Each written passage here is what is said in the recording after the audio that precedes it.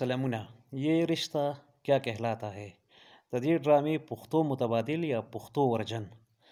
د پښتو ورژن د پښتو الټرنیټیو پاپ ته یې رشتہ کیا کهلاتا ہے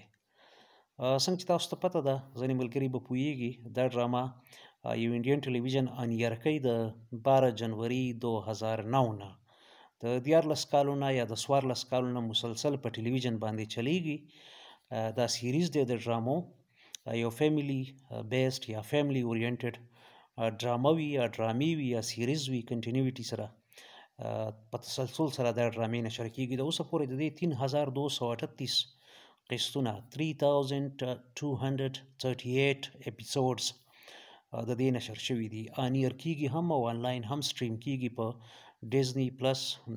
هاټ سټار باندې دا ویل شي چې د لانګست رننګ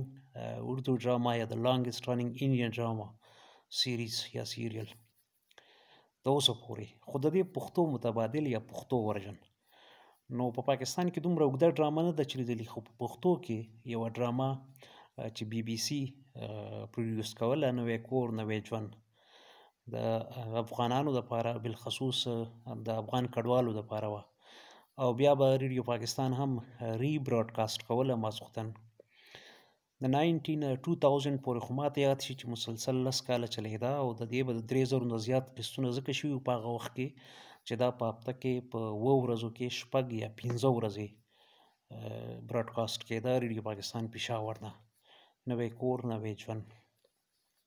زما خپل اندازه دا ده چې د هغې به د پنځه زرو نه کم از کم زیات قسطونه یا د دې نه هم سیوا قسطونه به شوي یا اپیسوډز به شوي نه پوهېږم خو په دغه کې چې کوم یو لوی کرکټر و نو هغه کال یو نیم مخکې وفات شوی و نظر محمد په نوم باندې دوست داسې نوم یې چې هغه پکې د نظر ناظر او ناظر کردار پکې هغه ادا کوو ډېره روایتي غوندې ډرامه وه د افغانانو دپاره وه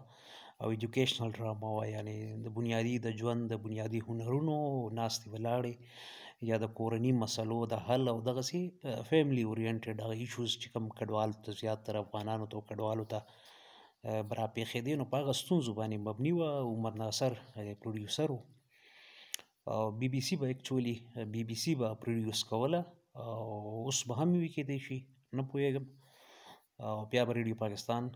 پېښور ری براډکاسټ کوله یا ری ریلې یا دوباره به نشر کوله نو دغه د